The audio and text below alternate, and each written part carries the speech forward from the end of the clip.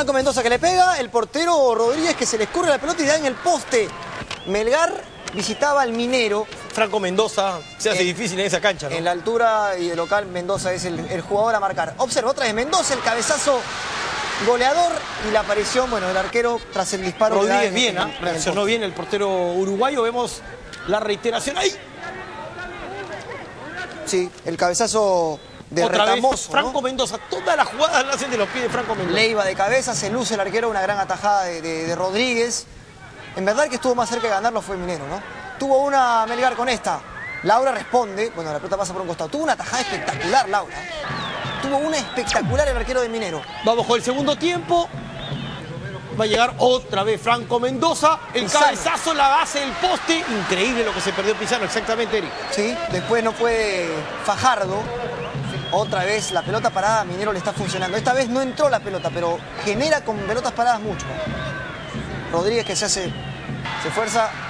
Otra para, para Minero, este me parece que es Ricky Pérez.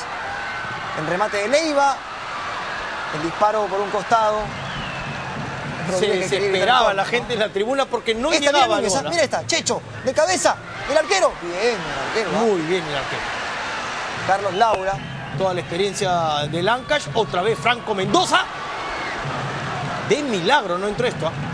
Fue 0-0, pero fue movi- movido y entretenido el partido entre, entre Minero y Melgar. Última jugada del partido.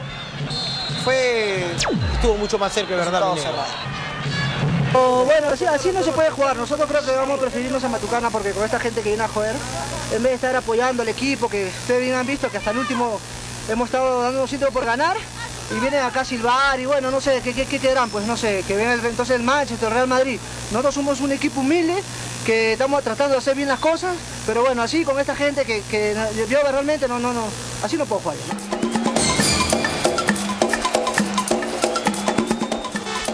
¿no? Le falta razón ¿ah? a Carlos Laura. Antes de proseguir hay que decir que el cuadro de Sporancas le ganó esta tarde 2 a 1 a Alianza Atlético de Sullana. ¿Ah? Con Así goles de Carti y de Vera. Golazo de Vera. Descontó Ascoy para Sullana. Y el partido que no se jugó por un tema de fuerza mayor, por el tema este de los vuelos que no se pueden hacer al Cusco. El Galvez no- contra. No pudo viajar el Galvez al Cusco. Ahora ahí sí, está la tabla de posiciones con unos números horrorosos en amarillo, pero ahí están. Eh, primero San Martín con 7 puntos y después tres equipos con 6 unidades. El Alianza Atlético, Sporting Cristal y el Sport Ancash. Después viene Universitario con 5, Minero con 4, Melgar con 4. Números rancheros, me dicen aquí por interno. Eh, Cienciano en la mitad de la tabla, pero con un partido menos. Hay varios equipos que tienen eh, dos partidos solamente. Ahí está el Aurich también con dos unidades, al igual que el Boys. Sí, Bolognesi, Alianza Lima, Galvez y Vallejo cierran la tabla. Hasta aquí todos sumaron. Sí, cuatro equipos eh, tienen dos partidos, Cienciano, Bolognesi, Alianza y Galvez. Sí. La próxima fecha del campeonato, la cuarta, tiene estos partidos, Eric.